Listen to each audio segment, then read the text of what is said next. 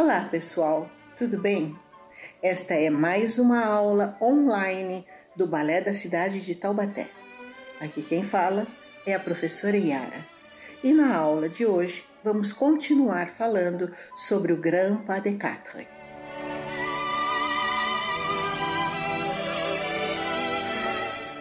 Como vimos na aula passada, Benjamin Lumley teve a ideia de juntar numa mesma coreografia as maiores bailarinas daquele tempo: Taglioni, Cerrito, Grisi e Gram. Como diretor do Teatro de Sua Majestade, Lumley vislumbrava com isso uma bilheteria fabulosa, mesmo sabendo da enorme rivalidade que existia entre elas e que dificilmente aceitariam a proposta resolve colocar em prática assim mesmo seu intento, que muito agradou à rainha Vitória.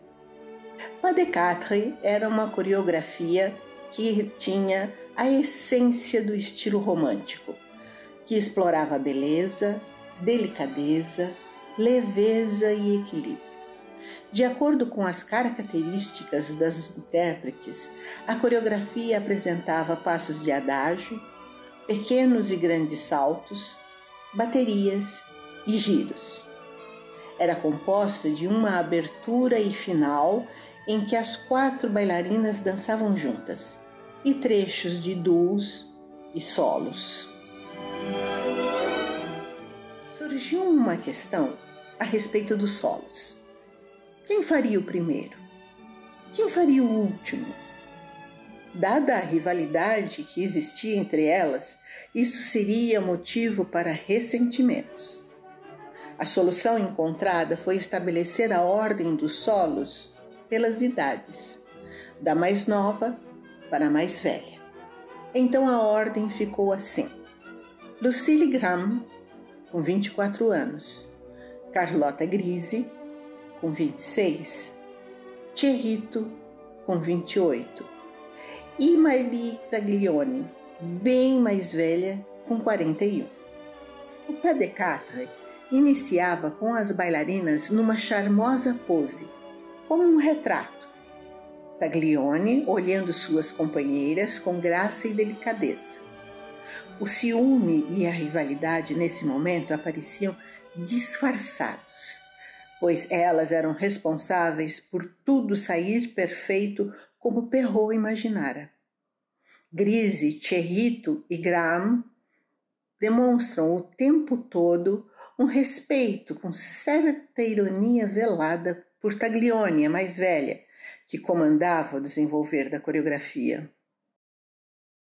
A primeira variação, uma música rápida e leve, é dançada por Graham, ligeira, brilhante, com controlado vigor de sua juventude e que termina com incríveis 31 antochacatres. O 32 tempo da música é para o final, a pose final, ajoelhada. A segunda variação é de Grise. Uma música mais lenta, melodiosa, embala o solo da bailarina, onde demonstra toda sua versatilidade. Faz saltos, baterias, giros no lugar e deslocando, com extrema graciosidade. Era um resumo em poucos minutos dos motivos de sua fama. Na sequência, um delicado duo com Graham e Taglioni, a mais nova com a mais velha. E Thierrito que se coloca entre elas no final do duo para sua variação. A terceira variação, então, dançada por Thierrito, rompe como uma flecha ligeira a delicadeza do duo, agilidade e graciosidade, marcas de Thierrito, estão colocadas por Perrault neste solo. Taglioni dança a quarta e última variação. Era a variação mais difícil, que Taglioni executava com perfeição. Ela se movia com suprema leveza, deslumbrante, sem esforço com balances perfeitos, com a autoridade de quem tem uma refinada maturidade artística. Ao final do solo de Taglioni, as outras três se juntam a ela para mais uma vez dançarem lado a lado, finalizando a obra. Cada uma delas tentando brilhar mais que a outra, exibindo seus virtuosismos. E como quem percebe que a competição é vã, retornam à pose do início, ao retrato que se tornou imortal das quatro mais famosas bailarinas da era romântica. Esta versão, Pune Perrault, foi apresentada apenas quatro vezes. Mas quase cem anos depois, em 1941, Anton Dolin, inglês, bailarino do balé russo de Diaghilev e bailarino e coreógrafo do hoje American Ballet Theatre, criou sua versão do Grand Pas de Quatre, com um arranjo musical de Leighton Lucas sobre a partitura original. É esta a versão que conhecemos hoje. Assim como Gisele, o Grand Pas de Quatre também figura no currículo de grandes bailarinas ao longo da história. Um outro quarteto, Alice Alonso, Carla Frati, Gislaine Tesma, Eva Ividokimova, seguindo a tradição de unir famosas bailarinas da mesma época de diferentes companhias.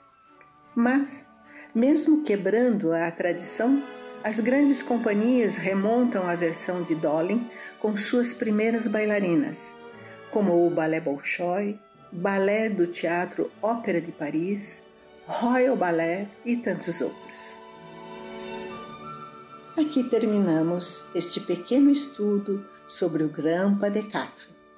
Espero tê-los estimulado a pesquisar e conhecer os grandes balés que escreveram a história da dança na era romântica.